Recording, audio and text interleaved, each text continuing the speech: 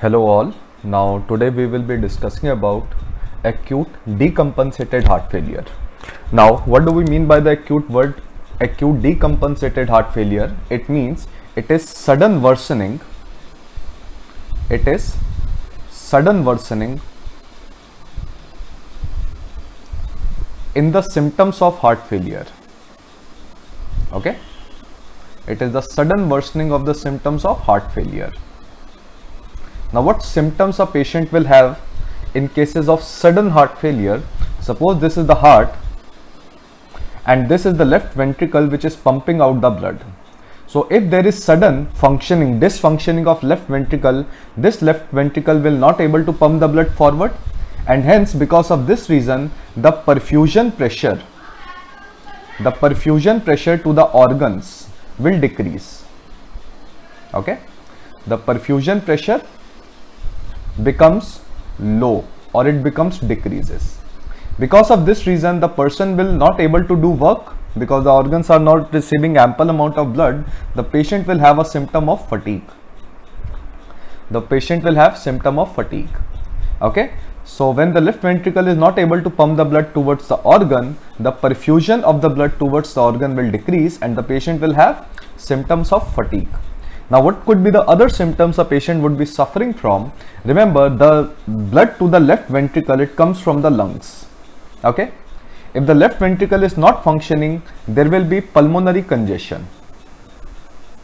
The blood will be collected in lungs. There will be pulmonary congestion and because of this reason the patient will have difficulty in breathing because the blood is collected in lungs okay so the oxygen will not able to diffuse so the patient will be having symptom of dyspnea difficulty in breathing. Okay? So how do we measure this pulmonary congestion? Pulmonary congestion is measured by putting a catheter directly into pulmonary capillaries. Pulmonary congestion is measured by a parameter known as PCWP PCWP stands for pulmonary capillary wedge pressure. We put one special catheter known as Swan-Ganz catheter through which we measure. Okay.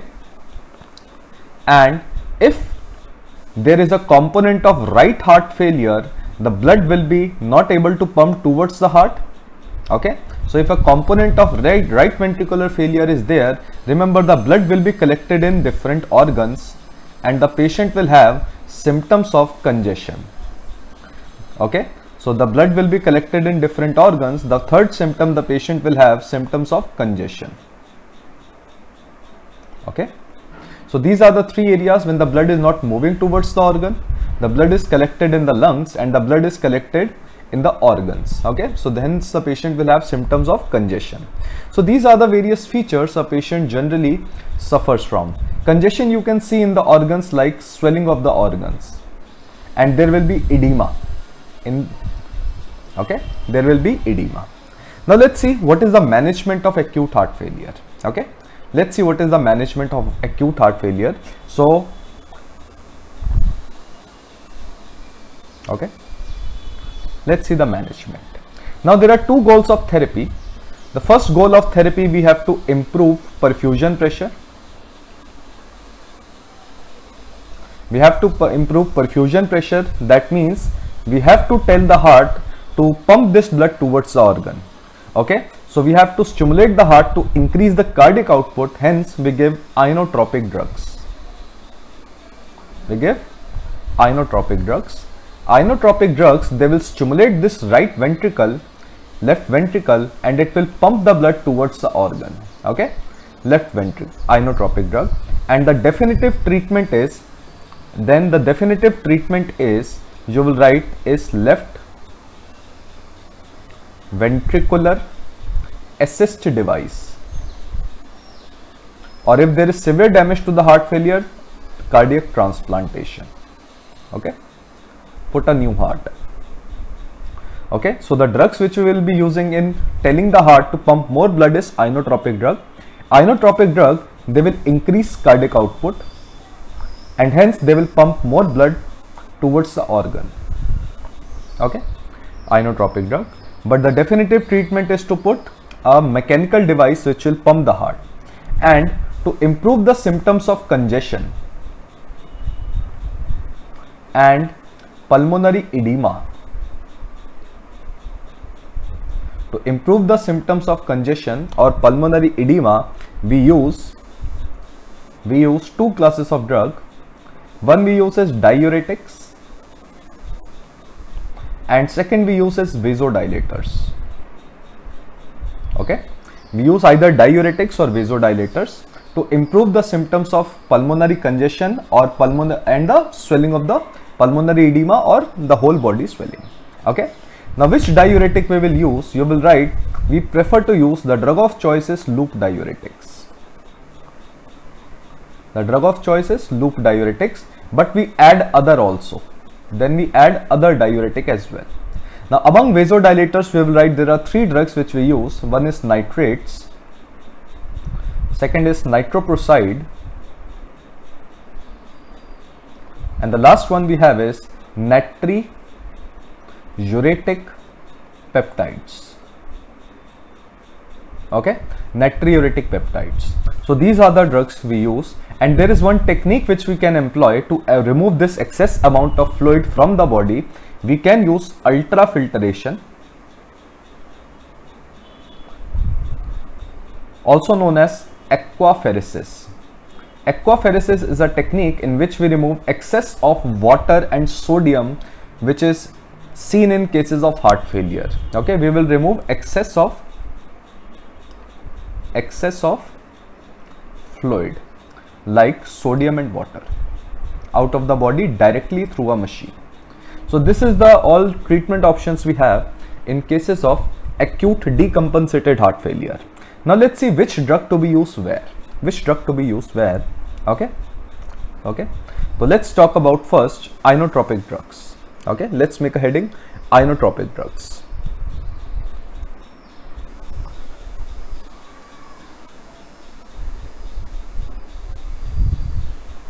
Inotropic drugs. Now what is the definition of inotropic drugs? These drugs they increase cardiac output. Okay, by directly stimulating the heart. Because of this reason they will increase perfusion pressure. They will increase perfusion pressure that means they will increase the blood supply to the tissue. They will increase the blood supply to the tissue okay? Now in which cases of acute decompensated heart failure we give? We give inotropic drug in cases of when the cardiac output is low. So it is given in low output state. When the cardiac output is low that means perfusion pressure is low. And the sometimes we give when the patient is having blood pressure less than 70 millimeter of mercury. Okay? And the patient is going into cardiogenic shock okay? Patient is undergoing into cardiogenic shock. When the perfusion pressure becomes so critically narrow when the patient is having very less bp less bp means hypotension then this condition is known as cardiogenic shock. Okay? Now let's see what are the different drugs we have. We will write certain points that all these inotropic drugs are all these drugs what are their route of administration all these drugs are intravenous drugs. Okay? All inotropic drugs are intravenous drug except one. Except digoxin. Except digoxin. Digoxin is an oral inotropic drug. Because of this reason digoxin is not mainly used in acute heart failure. Digoxin is a drug of choice in chronic heart failure. We use digoxin is chronic heart failure not in acute heart failure so in acute decompensated heart failure, we will be using intravenous drugs. Now let's see what are the drugs we have. Okay. Let's see various drugs. The first class of drug we have is beta agonist. The first class of drug we have is beta agonist. Why? Because these drugs they will stimulate beta 1 receptor on heart and if we stimulate beta 1 receptor on heart, the heart increases cardiac output. The cardiac output of the heart increases. Second class of drug we have is you will write as inodilators inodilators okay so these are the two classes of drugs we have okay And inodilators, I will be telling you they are even more effective drug than beta 2 agonists. And after that, we will write certain newer drugs. Just write the names of new drugs. Right now, they are not approved. Right now, they are not approved.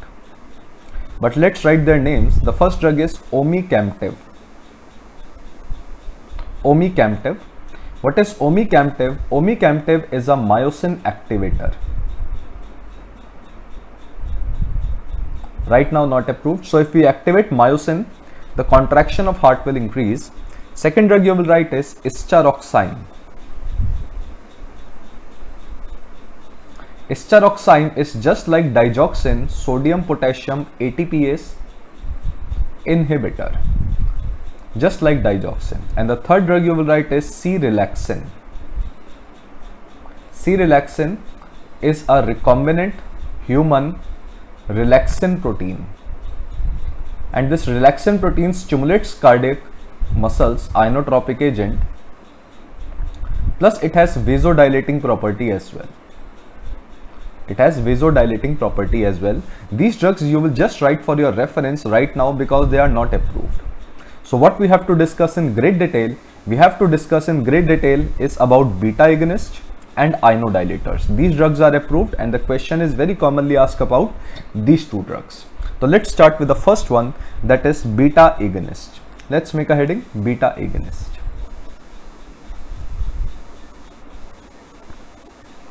Okay. These beta agonists are sympathomimetic drug because beta 1 receptor is sympatho. It is a sympathetic receptor. So it's a sympatho mimetic drugs.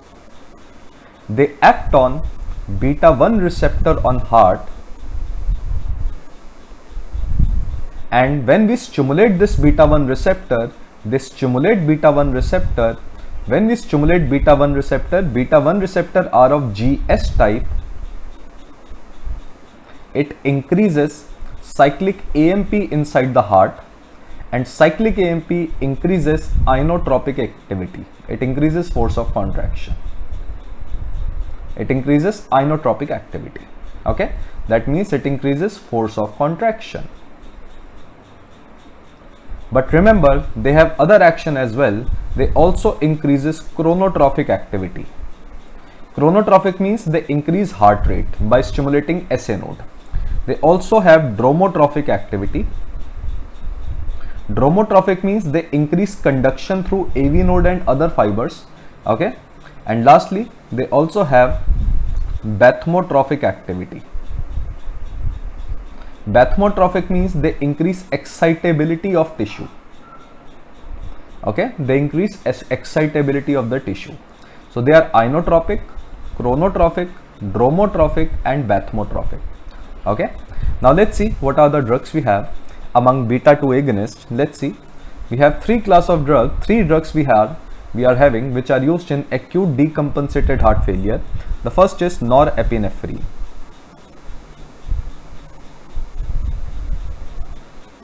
second you will write is dobutamine and the third drug we have is dopamine okay these three drugs we generally used in heart failure. Now you will write this norepinephrine acts on beta 1 receptor as well as alpha 1 receptors. Okay. Now where this norepinephrine is used, this norepinephrine is the drug of choice. It is the drug of choice for cardiogenic shock.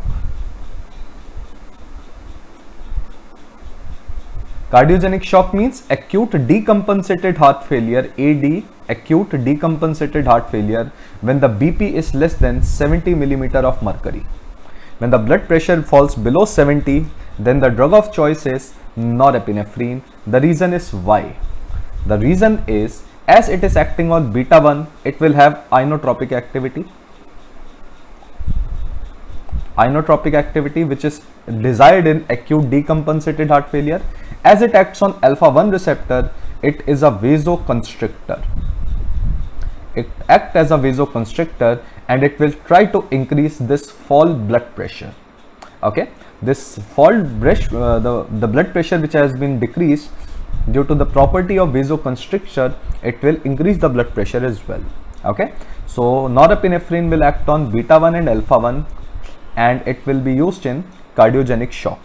Now, what is the dose of norepinephrine? You will write the dose is 0.2 to 1.0 microgram per kg per minute.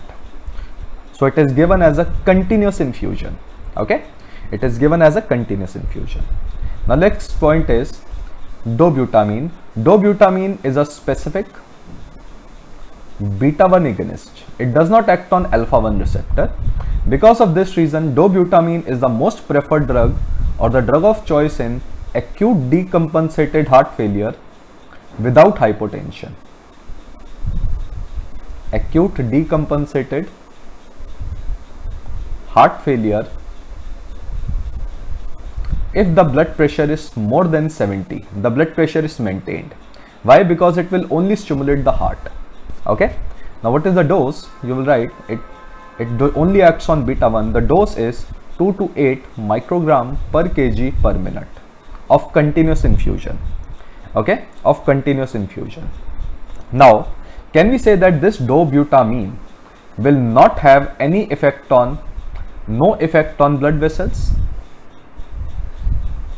No effect on blood vessels so can we say it will not produce any vasoconstriction unlike norepinephrine?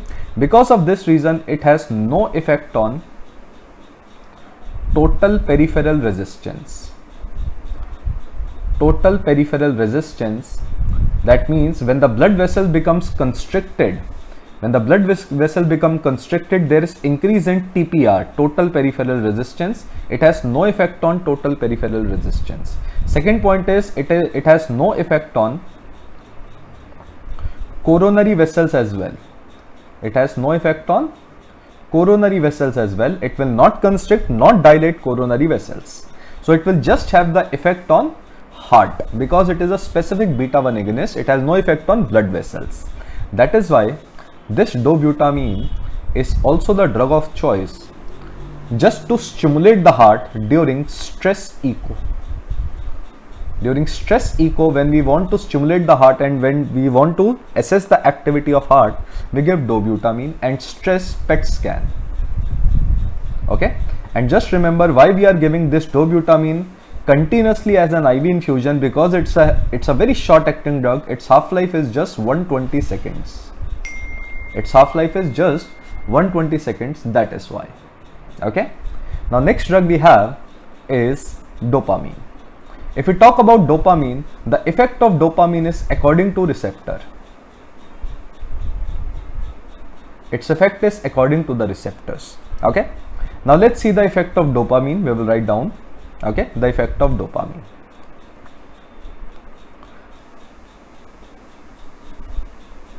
Now when you use this dopamine in a dose of 1 to 2 microgram per kg per minute, again a continuous infusion, this dopamine acts on specific D1 receptors, dopamine 1 receptors which are present on kidney and it produces vasodilatation in kidney. It produces vasodilatation in kidney. Because of this reason, this dopamine is the drug of choice for acute renal failure. Because in acute renal failure the blood supply to the kidney decreases which is also known as oliguria it is a drug of choice for acute renal failure which is also seen in heart failure as well. Okay it is seen in heart failure. Second you will write at the dose of 2 to 10 microgram per kg per minute. Again continuous infusion. This dopamine will act on beta 1 receptors present on heart this beta 1 receptors which are present on heart and at this dose it can be used for the treatment of acute decompensated heart failure. Acute decompensated heart failure. And if the dose is more than 10 microgram per kg per minute this dopamine starts acting on alpha 1 receptors which are present on blood vessels and it produces vasoconstriction. Okay, as it is using vasoconstriction, it can be used for the treatment of hypotension. it can be used for the treatment of hypotension. Okay? Now the point is what is the therapeutic use where we will use dopamine in heart failure? Dopamine is most commonly used at a dose of 2 to 5 microgram per kg per minute and at this, at this dose it will act on D1 and beta 1 receptors. Because of this reason it is the drug of choice for acute renal failure which is associated with heart failure. If you want to save the kidney we give dopamine. We don't have any other option. And the use of dopamine in more than 10 microgram per kg per minute is generally avoided. It is discouraged it is generally avoided because in such a high dose, dopamine produces various arrhythmias. It is highly arrhythmogenic, so high dose use of dopamine is generally avoided. But sometimes we can use for the treatment of hypotension, which is associated with cardiogenic heart failure. Okay, but its use is generally avoided because it is highly arrhythmogenic. Now the question arises why it is highly arrhythmogenic. The reason is in high dose dopamine also release. It also helps release norepinephrine. It also releases norepinephrine from the nerves. Plus it has also direct action. So the action of dopamine becomes very unpredictable. The action becomes very unpredictable. It also releases norepinephrine from the nerves. Okay. So these are the uses. So let's summarize if there is cardiogenic shock, the blood pressure is less, we prefer to use norepinephrine. If the blood pressure is maintained, we prefer to use dopamine, dobutamine and if there is renal failure, kidney failure, then we prefer to use dopamine. Okay, if there is kidney failure, then we prefer to use dopamine. Now the next class of drug we have is inodilators. The next class of drug we have is inodilators. Inodilators means these drugs are inotropic agent plus they have vasodilating property. They are also vasodilators. That is why the name came inodilators. Okay, they are vasodilators plus well as inodilators. Now the point is these inodilators you will write they are the most effective drug. They are the most effective drug for both right heart failure and left heart failure. They are the most effective drug even better than beta 2 agonist okay because they have additional vasodilating property. Second point these inotropic drugs they are the drug of choice for heart failure if the patient was on if the patient was on beta blockers if the patient comes to you and gives you a history that I was on beta blocker remember if the patient was on beta blocker and because of beta blocker he or she have developed heart failure remember beta agonists are not useful. Beta agonists are not useful. Why? Because already the receptors are blocked. Hence we will give inodilators okay? Hence we will give inodilators now let's see what are the drugs we have among inodilators let's see what are the drugs we have among inodilators the first drug among inodilators we have is phosphodiesterase phosphodiesterase 3 inhibitor. Let's write the short form as PDE 3 inhibitor. Okay. Now the next drug we have is phosphodiesterase 3 inhibitor again plus additionally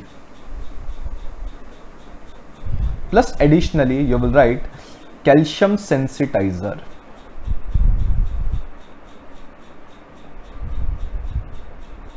and potassium channel opener. Potassium channel opener. Now let's see what do we mean by this. We know that phosphodiesterase enzyme is responsible for degradation of cyclic AMP phosphodiesterase 3 inhibitor they increase cyclic AMP inside the heart cells. They increase cyclic AMP inside the heart cells and just like beta receptors they were also increasing cyclic AMP it produces inotropic effect so what is the function of phosphodiesterase phosphodiesterase enzyme is responsible for degradation of cyclic AMP Phosphodiesterase enzyme, PDE enzyme is responsible for degradation of cyclic AMP. You inhibit this phosphodiesterase enzyme, the level of cyclic AMP inside the cell increases. Now, se second point is when this cyclic AMP increases inside the blood vessels, remember it produces vasodilatation. It produces vasodilatation. That is why increasing cyclic AMP, remember, it produces inotropic effect and vasodilatory effect. Hence, they are known as inodilators. Now, let's write their names. The drug which are we are having among phosphodiesterase 3 inhibitor are, you will write their names, milrinone, inamrinone, inamrinone. Inamrinone was earlier known as amrinone. It was earlier known as amrinone. Third you will write enoximone.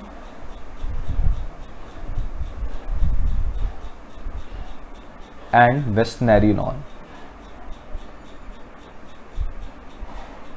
And among them, this milrinone is right now an approved drug. Okay, it is an approved drug and it is considered to be the most effective drug for right heart failure.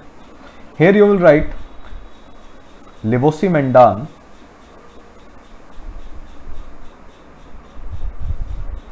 and pimobendan. Okay, levosimendan and pimobendan. Now, as we are seeing, levosimendan and pimobendan, they have additional calcium sensitizing property. If we sensitize calcium to the myosin, it will additionally have inotropic property. This calcium sensitizer has additional inotropic activity apart from phosphodiesterase 3 inhibiting property and potassium channel opener, remember they are vasodilators. Due to potassium channel opening, they have additional vasodilating property. Okay, so these are the drug. Now we will discuss milrinone in great detail. We will write one one point about levosimendan and pimobendan. Levosimendan is an approved drug for treatment of acute heart failure in humans. pimobendan is approved in dogs for acute heart failure. Okay, pimobendan is approved in uh, in dogs. So let's make a heading milrinone. So this drug we have to discuss in detail. Okay. So let's talk about milrinone, its properties. So these drugs, phosphodiesterase inhibitor, they are the most effective drug. Okay. Now this milrinone, you will write route of administration. It is given by an intravenous bolus injection. Okay. And it is contraindicated in renal failure. We know that in renal failure we give dopamine and its side effect is due to inhibition of phosphodiesterase 3 in platelets it causes thrombocytopenia. It causes thrombocytopenia. Okay? So remember these points that milrinone all these inotropic drugs we know they are given by IV they are contraindicated in renal failure and milrinone causes thrombocytopenia. So it is the best drug we have. It is the most effective drug phosphodiesterase inhibitor for heart failure. Now let's talk about other drugs. So the drugs which are which we use for the treatment of congestion and acute pulmonary edema. Okay. Now let's see which drug to be used where. Let's see the treatment of acute pulmonary edema. The treatment of acute pulmonary edema is L M N O P. Okay, LMNOP. So the drug of choice for acute pulmonary edema is loop diuretic. The drug of choice for acute pulmonary edema is loop diuretics. Which loop diuretic? You can use any loop diuretics. We generally use IV, furosemide, torsemide, bumetanide okay? What is the action of this uh, loop diuretic in pulmonary edema? You have to remember it is not because of their diuretic action. Their mechanism of action in loop diuretics in acute pulmonary edema is venodilatation. They produce venodilatation due to increase in prostaglandin formation their action is not due to diuretic action. They produce venodilatation hence less blood will come to the heart and less blood from right heart will go to the lungs. And similarly all other two drugs are also venodilatation. If the action is not if loop diuretics are unable to produce satisfactory response then we add morphine. Then we add morphine. If it is not controlled then we add nitroglycerine then we add nitroglycerine okay and these two drugs are also venodilators.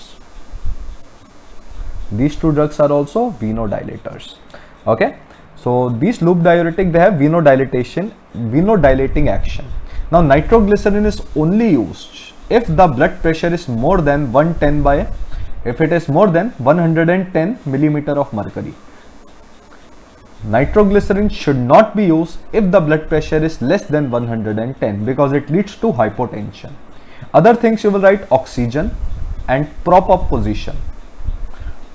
Prop up position means the patient should not lie down. If a patient will lie down, more blood will be collected in lungs which will worsen pulmonary edema. Okay. So in acute pulmonary edema, the drug of choice is loop diuretic, add morphine and nitroglycerin because all these drugs are venodilators okay let's talk about now systemic congestion how to treat this congestion or you will write edema. This edema in heart failure is known as refractory edema. The patient will have the symptoms. The patient will be having swelling over the whole body. So the drug of choice to relieve congestion in the whole body is again loop diuretics. Is again loop diuretics. Okay? Again loop diuretics. They are the drug of choice. Now if it is not relieved if it is not relieved then we add thiazides. Then we add thiazides. Now which thiazides? Either we can give iv chlorthalidone or we can give oral metolazone. Oral metolazone. Metolazone is safe in renal failure. Metolazone is safe in renal failure. It is the only thiazide which is safe in renal failure. Okay? Now if we go further if it is still not controlled then we will add other drugs. If this edema is still not controlled add other drugs. If the patient is having hypokalemia Then add spironolactone. It is a potassium sparing diuretic. So it will preserve potassium. Okay, potassium sparing diuretic. But remember spironolactone is absolutely contraindicated in renal failure. It is absolutely contraindicated in renal failure if the patient GFR is less than 10 milli, mill, uh, milliliter of minutes, it is absolutely contraindicated to spironolactone because spironolactone preserves potassium, hence we give. Okay, if the patient is having still resistant edema, then we add natriuretic peptides. Then we add natriuretic peptides. What are these natriuretic peptides? We will discuss shortly. And the last option we can do is ultrafiltration.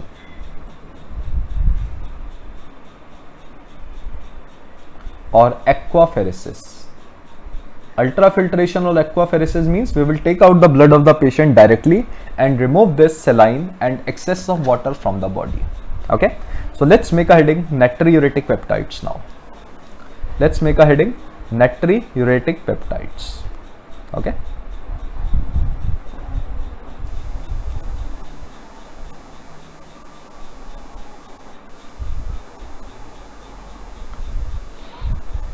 okay now these natriuretic peptides they are used as an add-on drug they are used as an add-on drug in the background of in the background of diuretics and inotropic drug in cases of resistant heart failure. They are used as an add-on drug in resistant heart failure if the symptoms are not controlled by if the symptoms are not controlled by symptoms are not controlled by diuretics and inotropic drugs. Then we add this natriuretic peptides. Okay. Now what are these natriuretic peptides? We will write.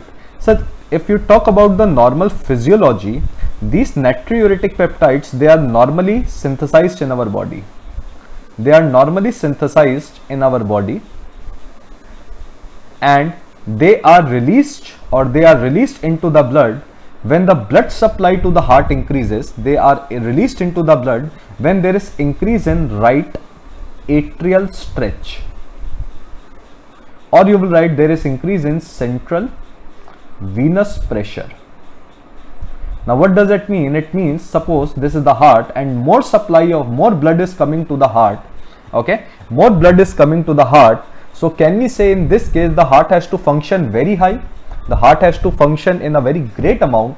So heart what it does, heart it releases certain natriuretic peptides in the blood for its own protection.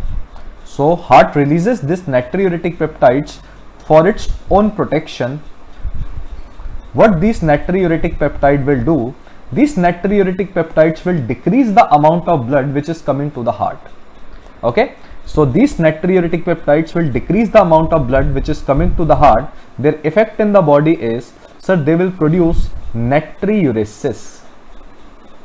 They will produce natriuresis. That means this amount of blood will go out of the body through kidney. So it will cause diuretic action. Diuretic means this excess of fluid will go out of the body through kidney and it also produces vasodilatation. It also produces vasodilatation so that if there will be vasodilatation, less amount of the blood will come to the heart. So heart synthesizes this natriuretic peptides for its own protection. When the more amount of blood comes to the heart for its own protection, heart, uh, heart synthesizes. Now let's see what are the different natriuretic peptides which are normally present in our body. What are the different types of natriuretic peptides which are present or synthesized in our body? We will write first is ANP ANP, A type of natriuretic peptide. Second we have is BNP. Third we have CNP. And the fourth we have is urodilantin. These are the four natriuretic peptides which are synthesized in our body. ANP stands for A type of natriuretic peptides or it is sometimes known as atrial natriuretic peptides. Okay. Now this A type of natriuretic peptide, remember it is synthesized by the atria or the heart. It is synthesized by the heart muscles or atria. BNP stands for B type of natriuretic peptide which is also known as brain natriuretic peptide. Brain natriuretic peptide. Remember it's a confusing term although it is name the name it is having is brain but again it is synthesized by the heart especially by ventricles. It is synthesized by atria. Now why it is known as brain? Because it was isolated from the brain. But remember it is not synthesized by the brain, it is synthesized by the heart. CNP is C type of natriuretic peptide. It is synthesized by endothelial cells of blood vessels. And urodilantin is it is synthesized by the kidney. So what is their function? They produce vasodilatation and they cause they cause diuresis through the kidney. Now sir, what we have made? We have made recombinant forms. We have made recombinant ANP form. This recombinant ANP form is Euro, we will write its name. The name of the drug which is recombinant ANP is carperitide. Carperitide. Okay carperitide. The second drug which we have made is recombinant BNP. Recombinant BNP analog, brain natriuretic peptide. The drug name is nesiritide. The drug name is nesiritide. Okay. Now the last drug we have is recombinant urodilantin. Recombinant urodilantin analog. The drug name is ularitide. The drug name is ularitide.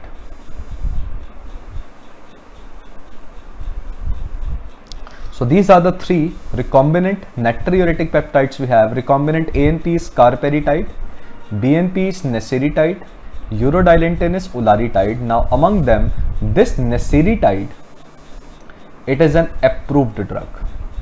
Right now it is an approved drug in America and India. Okay, carperitide and ularitide are not approved. They are approved in Japan. Okay, so it, this nesiritide is an approved drug in cases of resistant heart failure resistant heart failure. Now what is the route of administration of this nesiritide? Remember nesiritide is again given IV. It is also given IV and it is absolutely contraindicated in cases of hypotension. If the BP is very low, don't give this nesiritide. Why? Because this nesiritide itself causes, due to diuresis and vasodilatation, it itself causes hypotension. Okay, so this is all about natriuretic peptides and this finishes our acute heart failure. Okay, this finishes our acute heart failure. So thank you very much.